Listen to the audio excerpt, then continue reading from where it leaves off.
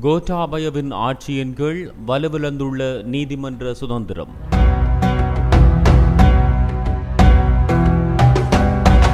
கடந்த ஏப்ரல் மாதம் ஒன்பதாம் தேதி நாடாளுமன்றத்தில் சமர்ப்பிக்கப்பட்ட தீர்மானம் நிறைவேற்றப்படுவதென்பது ஏற்கனவே ஜனாதிபதி கோட்டாபய ராஜபக்சவின் ஆட்சியின் கீழ் வலுவிழந்துள்ள நீதிமன்றத்தின் சுதந்திரம் மற்றும் சட்டத்தின் ஆட்சி என்பவற்றை மேலும் தொய்வடையச் செய்யும். இவ்வாறு எச்சரிக்கை விடுத்துள்ளது மனித உரிமைகள் கண்காணிப்பகம். இது தொடர்பில் மனித உரிமைகள் கண்காணிப்பகத்தினால் வெளியிடப்பட்டுள்ள அறிக்கையில் மேலும் குறிப்பிட்டிருப்பதாவது. அரசியல் பழிவாங்கல்கள் தொடர்பில் விசாரணை செய்வதற்கான ஜனாதிபதி ஆணைக்குழுவின் அறிக்கையில் உள்ள விடயங்களை நடைமுறைப்படுத்துவதால் சட்டத்தின் ஆட்சியும் நீதிமன்றத்தின் சுயாதீனத்தன்மையும் மேலும் வலுவிழக்கக்கூடும். அதேவேளை மனித உரிமை மீறல் குற்றச்செயல்களுடன் தொடர்புபட்ட அதிகாரிகளை விடுவிப்பதற்கு ஏதுவான வகையில் செயற்படுவதை அரசாங்கம் தவிர்த்து கொள்ள வேண்டும்.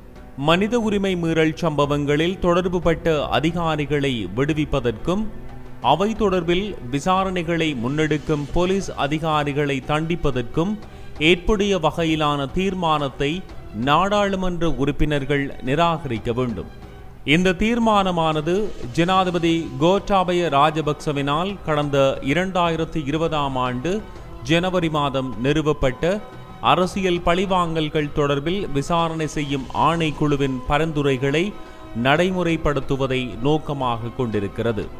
இது மனித உரிமை மீறல்கள் படுகொலைகள் உள்ளிட்ட குற்றச்செயல்கள் தொடர்பான விசாரணைகளை முடக்குவதுடன் ஊழல் மோசடிகள் குறித்து விசாரணைகள் முன்னெடுக்கப்படுவதிலிருந்து ராஜபக்ச குடும்பத்தையும் ஏனையோரையும் பாதுகாக்கின்றது. ஜனாதிபதி கோட்டாபய ராஜபக்சவின் செயற்பாடுகள் அவரது குடும்பத்தினருக்கு உதவும் வகையிலேயே அமைந்துள்ளன.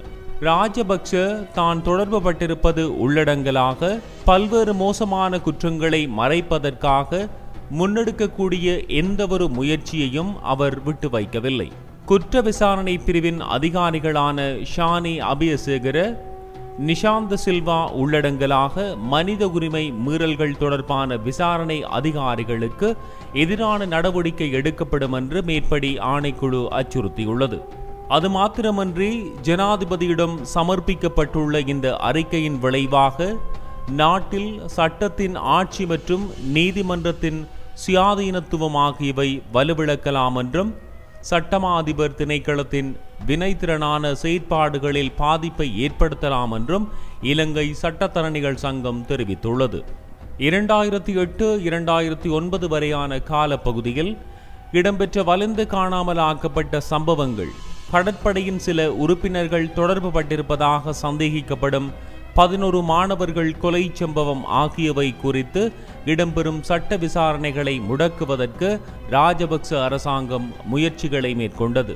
மேலும் இரண்டாயிரத்தி எட்டாம் ஆண்டு ஊடகவியலாளர் கீத் நோயர் கடத்தப்பட்டு தாக்கப்பட்டமை இரண்டாயிரத்தி ஒன்பதாம் ஆண்டு சண்டே லீடர் பத்திரிகையின் ஆசிரியர் லசந்த விக்ரமதுங்க படுகொலை செய்யப்பட்டமை இரண்டாயிரத்தி பத்தாம் ஆண்டில் ஊடகவியலாளர் பிரகீத் எக்னெலிகொட காணாமலாக்கப்பட்டமை இரண்டாயிரத்து பன்னிரெண்டாம் ஆண்டில் இடம்பெற்ற வெலிக்கடை சிறைச்சாலை படுகொலைகள் ஆகியவை பற்றிய விசாரணைகளும் நெருக்கடிகளை எதிர்கொண்டுள்ளன.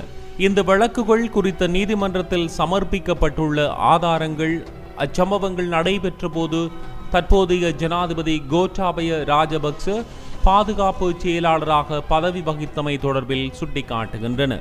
இந்த வழக்குகளில் காணப்பட்ட அரசியல் தலையீடுகள் ஏற்கனவே இவற்றிற்கான நீதி வழங்கல் பொறிமுறைகளை தாமதப்படுத்திவிட்டு பாரிய குற்றச் செயல்களுடன் தொடர்புபட்டவர்கள் தண்டனைகளிலிருந்து தப்பிப்பதற்கு அனுமதிப்பதற்கு பதிலாக இலங்கை அரசாங்கம் சர்வதேச சட்டங்களுக்கு அமைவாக அதன் கட்டுப்பாடுகளை பேண வேண்டும்.